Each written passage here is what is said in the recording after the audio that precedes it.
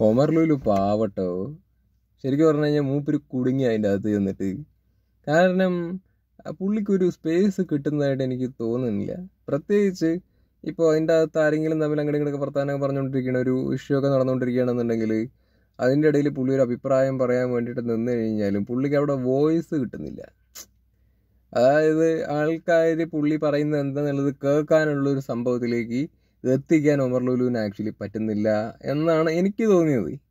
അതിനുവേണ്ടി പുള്ളി സ്ട്രഗിൾ ചെയ്യുന്നതായിട്ട് എനിക്ക് തോന്നുന്നു.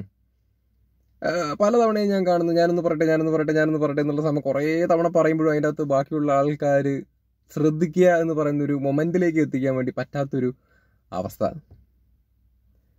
പിന്നെ ഇന്നലത്തെ ഇന്നലത്തെ എപ്പിസോഡിന്റെ അകത്താണെന്നുണ്ടെങ്കിലും മറ്റേ ജുനൈസ് മറ്റേ കല്ലിന്റെ പൊക്കത്ത് കയറിയിരുന്ന സമയത്ത് ഏത് കണ്ടസ്റ്റന്റ് ആയിരുന്നു? ആരാന്ന് എനിക്ക് ഓർമ്മയില്ല. മറ്റേ ആ ഷിജു. ഷിജു ജുനൈസിനെ പിടിച്ചിങ്ങനെ വലിച്ചു കൊണ്ടുപോകുന്ന സമയത്ത് ജുനൈസ് മറ്റേ ഒമർ ഒമർ ലുലുവിന്റെ അടുത്ത് ഹെൽപ്പ് ചോദിക്കുന്നുണ്ടായിരുന്നല്ലോ. ആ ആ സമയത്ത് ഓമറിനൊന്നും ചെയ്യാൻ പറ്റുന്നില്ല. ഓമർ ഇങ്ങനെ നിന്ന് നോക്കുകയായിരുന്നു ഇങ്ങനെ. ജുനൈസിന് തന്നെ മനസ്സിലായെന്ന് തോന്നുന്നു. ഉം, ഒന്നും ചെയ്യാൻ പറ്റില്ല എന്നുള്ള സംഭവം. ജുനൈസിനും മനസ്സിലായി. ആ ഏകദേശം ഒരു തീരുമാനമായി എന്നുള്ളൊരു സംഭവം. ഞാൻ ഓവർലൂലിനെ ലുലുവിനെ കുറ്റായിട്ട് ഒന്നും പറയണമെന്നല്ല കേട്ടോ. മൂപ്പര് ഒരു പാവമാണ് തോന്നുന്നു എനിക്ക്. ഞാനും ഗംഭീര പ്രതീക്ഷയൊക്കെ വെച്ച് കണ്ടസ്റ്റന്റ് ആണ്. പക്ഷെ മൂപ്പര് എന്തോ പുള്ളിക്ക് പറ്റുന്നില്ലേ എന്നുള്ളൊരു സാധനം. ആ അപ്പോൾ ജസ്റ്റ് പറഞ്ഞത് മാത്രം. കാരണം നമ്മൾ ആദ്യം വിചാരിച്ചിട്ടുണ്ടായിരുന്നത് എന്താണ്? മൂപ്പർക്ക് മൂപ്പരുടേതായ കുറേ പ്ലാൻസ് ഒക്കെ ഉണ്ട്. അത് അതിന്റെ അകത്ത് കയറി പുള്ളി ഗംഭീരമായിട്ട് എക്സിക്യൂട്ട് ചെയ്യുന്നൊക്കെയല്ലേ? അതായത് ജുനൈസിന്റെയും സാഗറിന്റെയും നാദിറുടെ ഒക്കെ കൂട്ടുപിടിച്ചിട്ട് ഉമർലുലു റിനോഷിനെയും അഖിൽമാരെയൊക്കെ ടാർഗറ്റ് ചെയ്ത് കളിക്കും എന്നുള്ളൊരു സാധനം നമ്മുടെ ചിന്തയിലുണ്ടായിരുന്നു. ശ്രമമൊക്കെ നടന്നു. പക്ഷേ ശ്രമം പാളി. അങ്ങോട്ട് നടക്കാത്തൊരവസ്ഥ.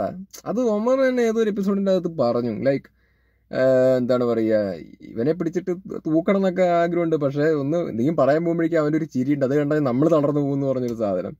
അപ്പോൾ അത് നടക്കണില്ല. ഞാൻ ഇപ്പോഴും പറഞ്ഞു ഒമർ ലുലു എനിക്ക് ഇഷ്ടമാണ്. ആൾ പാ ഒരു മനുഷ്യനാണെന്ന് തോന്നുന്നുണ്ട്. പക്ഷേ ആസ് എ കണ്ടസ്റ്റന്റ് എന്നുള്ള രീതിയിൽ അങ്ങനെ അതിന്റെ അകത്ത് കുടുങ്ങിയോ എന്നുള്ളൊരു സംശയമാണ് എനിക്ക് തോന്നണത്.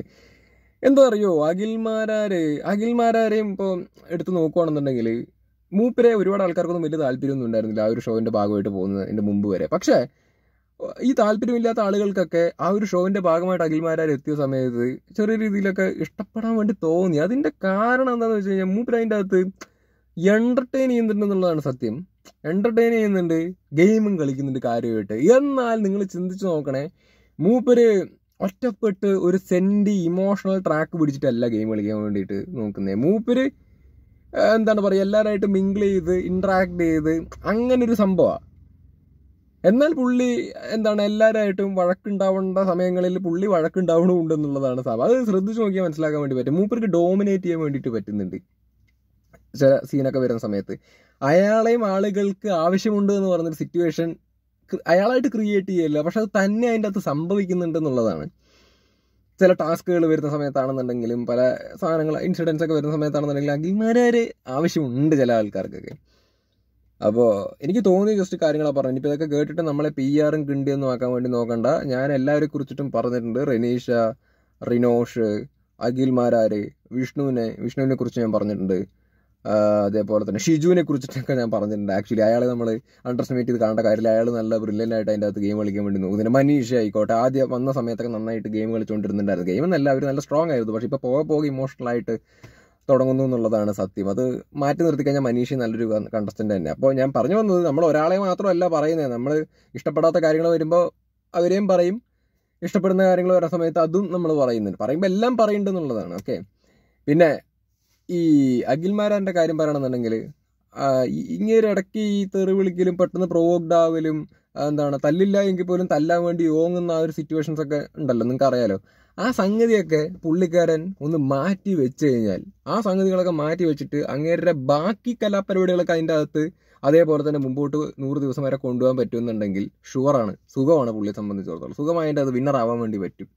അങ്ങനെയാണെങ്കിൽ പക്ഷേ നമ്മളെപ്പോഴും ഈ അഖിൽമാരുടെ കേസ് പറയുന്ന സമയത്ത് ഒരു അമ്പതാം ദിവസം എഴുപതാം ദിവസം തെറിക്കും സംശയം പറയുന്നത് വേറൊന്നും കൊണ്ടല്ല. മൂപ്പര് പ്രൊവോക്ഡ് ആവുന്ന ഒരാളായതുകൊണ്ടും പുള്ളിക്കാരൻ എപ്പോഴ എപ്പോഴാ എങ്ങനെ റിയാക്ട് ചെയ്യുക എന്നുള്ള കാര്യം നമുക്ക് അറിയാത്തതുകൊണ്ടാണ് നമ്മൾ അങ്ങനെ ഒരു സംശയം പ്രകടിപ്പിക്കുന്നത്. സോ ഇത്രയൊക്കെ ഉള്ളൂ. പിന്നെ ഇന്നത്തെ ഷോ ഇന്നത്തെ ഇതിന്റെ കാര്യം പറഞ്ഞിട്ടുണ്ടെങ്കിൽ ബ്രില്യന്റ് ആയിരുന്നു. വിഷ്ണു അഖിൽമാരാര് അനിയം മിഥുൻ ഷിജു ബ്രില്യന്റ് ആയിട്ടുള്ള കളിയായിരുന്നു. വളരെ എന്റർടൈനിങ് ആയിരുന്നു എൻഗേജിങ് ആയിരുന്നു. അതൊരു ഗംഭീര ടീം വർക്ക് തന്നെയാണ്. അത് പറയാണ്ടിരിക്കാൻ വേണ്ടി പറ്റൂല. സീരിയസ്ലി എനിക്ക് പൊതുവേ എനിക്ക് തോന്നുന്നു ആ ഒരു റൂൾ തന്നെ ഗ്രൂപ്പായിട്ട് ആ ഒരു ടീമായിട്ട് വേണമെങ്കിൽ നിന്ന് കളിക്കാം എന്നുള്ളൊരു സാധനം പറയുന്നുണ്ട്. എനിക്ക് പൊതുവേ ഗ്രൂപ്പ് ഇസം എന്ന് പറഞ്ഞൊരു സംഭവത്തോട് താല്പര്യമില്ല. പക്ഷെ ഇങ്ങനെ ഇങ്ങനെ ഒരു തരത്തിൽ ടീം ഉണ്ടാക്കിയിട്ട് ഗെയിമിന്റെ കാര്യത്തിന് വേണ്ടിയിട്ട് ഒരു ടാസ്കിന്റെ ഭാഗമായിട്ട് ഇത്തരത്തിൽ ഗെയിം കളിച്ച് എക്സിക്യൂട്ട് ചെയ്ത് ബ്രില്യന്റ് ആയിട്ട് കൊണ്ടുവരിക എന്ന് പറഞ്ഞൊരു സംഭവം അത് അടിപൊളിയായിട്ടുള്ള ഒരു പരിപാടിയാണ്. അത് അവർ ഗംഭീരമായിട്ട് ചെയ്തു. എന്ന് മാത്രമല്ല സക്സസ്ഫുൾ ആക്കുകയും ചെയ്തു. അവർ ആ കല്ലെടുത്തിട്ട് മനീഷയ്ക്ക് കൊടുക്കുകയും ചെയ്തു. അതൊരു സംഭവമാണ് കാരണം അവസാനം അത് മനീഷയുടെ കയ്യിലുണ്ട് എന്നുള്ളൊരു സംഭവമൊന്നും അധികം ആരും സംശയിക്കില്ല. പ്രത്യേകിച്ച് ലച്ചുവിന്റെയും അതേപോലെ മനീഷയുടെയും കയ്യിലൊക്കെ ഇത് കല്ലുണ്ടാവും എന്നുള്ളൊരു സംഭവം മറ്റ് കണ്ടസ്റ്റൻസിന് സംശയിക്കാനുള്ള വകുപ്പില്ല. അപ്പോൾ നമുക്ക് വേണമെങ്കിൽ അങ്ങനെയും ചിന്തിക്കാം. ഇവരിങ്ങനെ പ്ലാൻ ചെയ്തിട്ട് നൈസായിട്ട് മനീഷയുടെ കയ്യിലൊക്കെ കൊടുത്ത് മെല്ലെ അങ്ങനെ ഒരു സംഭവം മനസ്സിലായി? ഞാൻ ഡീറ്റെയിൽ ആയിട്ട് എക്സ്പ്ലെയിൻ ചെയ്യുന്നില്ല നിങ്ങൾക്ക് മനസ്സിലാക്കാൻ വേണ്ടിയിട്ട് പറ്റിയിട്ടുണ്ടാവും. അങ്ങനെയും ചിന്തിക്കാം. നമുക്ക് വേറെ രീതിയിലും ചിന്തിക്കാം. ഇപ്പോൾ മനീഷയ്ക്ക് ഒരു സപ്പോർട്ട് കൊടുത്തു. മനീഷയെ ഒന്ന് സഹായിച്ചു. മനീഷയെ ഇവരുടെ കൂട്ടത്തിൽ ചേർത്തേക്കാം. മനീഷ നമ്മുടെ എതിരെ വരാത്തൊരു തരത്തിലുള്ള ഒരു ഗെയിം മനീഷയെ കൊണ്ട് ഭാവിയിൽ കളിപ്പിച്ചേക്കാം. നമ്മുടെ കൂടെ നിൽക്കില്ല അങ്ങനെ ഒരു ഇന്റൻഷൻ വെച്ചിട്ടും കൊടുത്തതാവാൻ സാധ്യതയുണ്ട്. വാട്ട് എവർ ഇറ്റ് ഈസ് ഇത് രണ്ട് റീസൺ ആണെന്നുണ്ടെങ്കിൽ പോലും ആ ഒരു മൂവ് നല്ല ഗംഭീരമായിരുന്നു. ആ കളിച്ച കളിയും ബ്രില്യന്റ് ആയിരുന്നു. എന്താണ് പറയുക കല്ലെടുത്ത സംഭവം ബ്രില്യന്റ് ആയിരുന്നു. അതിന് ശേഷം ഒളിപ്പിച്ച് വെച്ച പരിപാടികളും എല്ലാം കൊള്ളായിരുന്നു. അതിനുശേഷം മനീഷയ്ക്ക് അതെടുത്ത് കൊടുത്തതിന്റെ ആ ഒരു ഉദ്ദേശം എന്താണെന്നുണ്ടെങ്കിൽ അത് കൊള്ളായിരുന്നു. അപ്പോൾ ഒരു ഇമോഷൻ സാധനത്തിൽ തന്നെ കയറി പിടിച്ചു എന്നുള്ളതാണ് സത്യം. അപ്പോൾ ഇത്രയ്ക്കൊക്കെ ഉള്ളൂ ഇന്നത്തെ എപ്പിസോഡിനെ കുറിച്ചിട്ടൊക്കെ ആക്ച്വലി പറയാൻ. പ്രത്യേകിച്ച് കാര്യമായിട്ട് എടുത്ത് പറയാൻ മാത്രമുള്ള കണ്ടന്റുകളോ കാര്യങ്ങളോ ഒന്നുമില്ല. പിന്നെ എവിടെ വൈബർ ഗുഡ് ദേവൊക്കെ അല്ലേ? അവരൊന്ന് പുറത്താവണം എന്ന് എനിക്ക് വ്യക്തിപരമായിട്ട് യാതൊരു ആഗ്രഹവും ഇല്ല തുടക്കകാലത്തൊക്കെ തുടക്ക കാലത്തൊക്കെ അവരങ്ങനെ നെഗറ്റീവായിട്ടാണെന്നുണ്ടെങ്കിലും കളിച്ചു തുടങ്ങിയതൊക്കെയാണ്. പക്ഷെ അങ്ങനെയൊക്കെ തന്നെ കളിച്ച് മുമ്പോട്ട് പോയിരുന്നുണ്ടെങ്കിൽ ഒരു കണ്ടന്റ് മേക്കിംഗ് എന്നുള്ളത് അതിപ്പോൾ നെഗറ്റീവ് ആയിട്ടുള്ള കണ്ടന്റ് പോസിറ്റീവ് ആയിട്ടുള്ള കണ്ടന്റ് എന്തോ ആയിക്കോട്ടെ. പക്ഷെ ഇപ്പോൾ ഒന്നുമില്ല. അവരാകെ ബ്ലാങ്ക് ആയി. നത്തിങ് ഒരു സീറോ പെർസെന്റിലേക്ക് ആൾ എത്തിക്കൊണ്ടേ ഇരിക്കുകയാണ്. എനിക്ക് തോന്നുന്നു ലച്ചു വൈവറിനെക്കാട്ടിലും ഒരു ശതമാനം കണ്ടന്റ് അതിന്റെ അകത്ത് കൊടുക്കുന്നുണ്ട്. ഗംഭീരം എന്നല്ലെങ്കിലും കമ്പയർ എന്ന് പറഞ്ഞ സമയത്ത് ഒരു ശതമാനം കണ്ടന്റൊക്കെ ലച്ചു വൈബറിനെക്കാട്ടിലും അതിന്റെ അകത്ത് കൊടുക്കുന്നുണ്ട്. പിന്നെ ഇന്നലെ പറഞ്ഞ കാര്യം തന്നെ ജൂനൈസിന്റെയും സാഗറിന്റെ അവസ്ഥ. അവർ ഗെയിം കളിക്കുന്നുണ്ട് കേട്ടോ ഇല്ലെന്ന് ഞാൻ അവർ കുറ്റമൊന്നും പറയില്ല. ഗെയിം കളിക്കുന്നുണ്ട്. അവരുടെ ഭാഗത്ത് മാക്സിമം അവർ ട്രൈ ചെയ്യുന്നുണ്ട്. എന്തൊക്കെ എന്തൊക്കെയോ ചെയ്യാനുള്ള ശ്രമമുണ്ട്. അത്തരത്തിലുള്ള ആൾക്കാരൊക്കെ അതിന്റെ അകത്ത് വേണം. ലൈക്ക് നെഗറ്റീവ് ആയിട്ടുള്ളതാണെങ്കിലും പോസിറ്റീവ് ആയിട്ടാണെങ്കിലും സക്സസ് ആവുന്നതാണ് സക്സസ് അല്ലാത്ത ഗെയിം കളിക്കുന്ന ട്രൈ ചെയ്യുന്നുണ്ടോ? അത്തരത്തിലുള്ള ആൾക്കാർ വേണം. ബിക്കോസ് അവരൊന്നും ഇല്ലെങ്കിൽ അതിന്റെ അകത്ത് ഗെയിം ഇല്ല. നത്തിങ് അല്ലേ?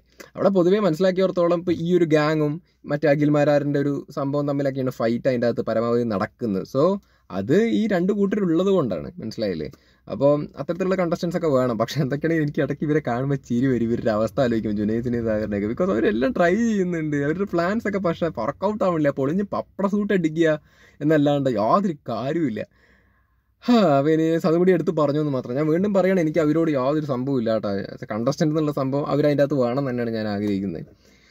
പക്ഷെ അവരുടെ ഒന്നും സക്സസ് ആവണില്ല എന്നുള്ള സംഭവം നമ്മൾ എടുത്ത് പറയുന്ന ഒരു ഒരു ഷോവിന്റെ റിവ്യൂ എന്നുള്ളൊരു നിലയ്ക്കാണ്. പിന്നെ ശോഭ വിശ്വനാഥ്. അവരും വലിയ കുഴപ്പമൊന്നുമില്ല. അവരും നല്ലൊരു കണ്ടസ്റ്റന്റാ അതായത് പ്രത്യേകിച്ച് ടാസ്ക് ഒക്കെ വരുന്ന സമയത്ത് അവരുടെ മാക്സിമം അവർ ട്രൈ ചെയ്യുന്നുണ്ട്.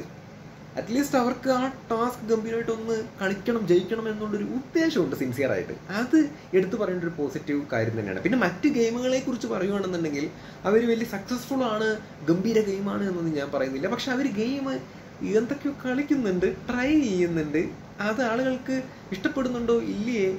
സക്സസ്ഫുൾ ആവുന്നുണ്ടോ ഇല്ല എന്നുള്ളതൊക്കെ വേറെ വിഷയമാണ്. പക്ഷെ ആസ് എ കണ്ടസ്റ്റന്റ് അതിന്റെ അകത്ത് അവർ എന്തൊക്കെയൊക്കെയോ ചെയ്യാൻ വേണ്ടിയിട്ട് ശ്രമിക്കുന്നുണ്ട് എന്നുള്ളൊരു സംഭവമാണ്. അതൊരു നല്ല കാര്യം തന്നെയാണ്. സേഫായിട്ട് ഇങ്ങനെ ഒരു സ്ഥലത്ത് ഇങ്ങനെ ഇരി ഇരുന്നേക്കാ. ആ പോട്ടെ പോണോർത്തോണം പോട്ടെ എന്നുള്ളൊരു സാധനമല്ല അവർക്ക്. എനിക്ക് തോന്നിയൊരു കാര്യം പറയണേ. പിന്നെ ഇത്രയൊക്കെ ഉള്ളൂ. കഴിഞ്ഞ് ഇനിയിപ്പോൾ ഒരുപാട് പറഞ്ഞിട്ട് നിങ്ങളെ മുഷിപ്പിച്ചിട്ട് കാര്യമൊന്നുമില്ലല്ലോ. ഇനി നിങ്ങൾക്ക് തോന്നുന്ന കാര്യങ്ങൾ കമന്റ് സെക്ഷനിൽ പറ. അപ്പോൾ സാഗറിന്റെ കാര്യം പറയുകയാണെന്നുണ്ടെങ്കിൽ എന്താ പറയുക പറഞ്ഞത് തന്നെ പറഞ്ഞുകൊണ്ട് എന്നിട്ട് കാര്യമില്ല. എന്നാലും പറയാ സാഗർ ജുനൈസായിട്ട് ഒന്ന് വിട്ടു നിൽക്കണം തന്നെയാണ് നല്ലത്. കാരണം ജുനൈസ് ജുനൈസിന്റെ ഗെയിം കളിക്കുകയാണ്. അതിൽ സാഗറിനെ കൂട്ടുപിടിച്ച് കളിക്കുന്നു എന്നുള്ളൊരു സാധനം മാത്രമേ ഉള്ളൂ.